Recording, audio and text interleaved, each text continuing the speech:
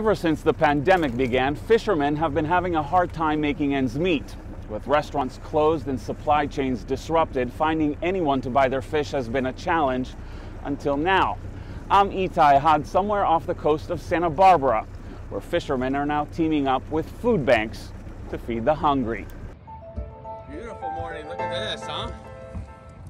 It's 6 a.m., and Captain Eric Hodge and deckhand Bailey Raith arrive at the Santa Barbara harbor just as the sky turns bright orange, and the only thing one hears is the lulling sound of seagulls. It's a lifestyle, you know? Kind of mystical in a way, I guess. Eric and Bailey are a dying breed of commercial fishermen. This is their office, 9 feet wide, 24 feet long.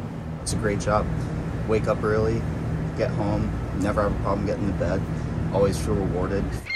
Life was good until the pandemic hit and their income dried up overnight. Restaurants closed.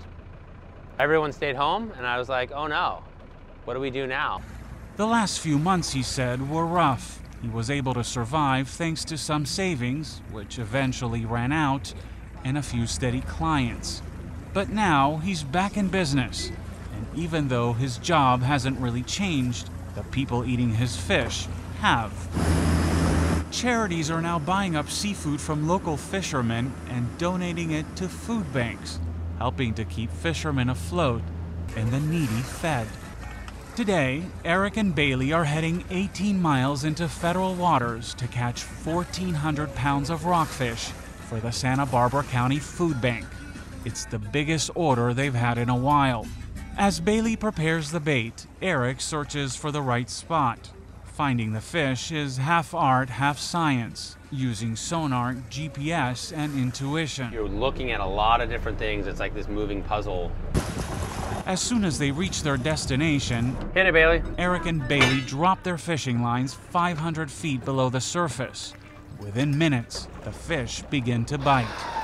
Each fish weighs about four pounds. They're bright red with poisonous fins that can cut through your skin if you're not careful. At the end of a long, hard day, Eric and Bailey make their way back to the harbor, along with more than a thousand pounds of rockfish on board. Even though they came up a bit short at $3.5 a pound, that comes to $3,500. Not bad for a day's work. Feels damn good at the end of the day. They'll be sleeping well tonight, knowing they can finally breathe a little easier as they ride out these turbulent waters while feeding those most in need.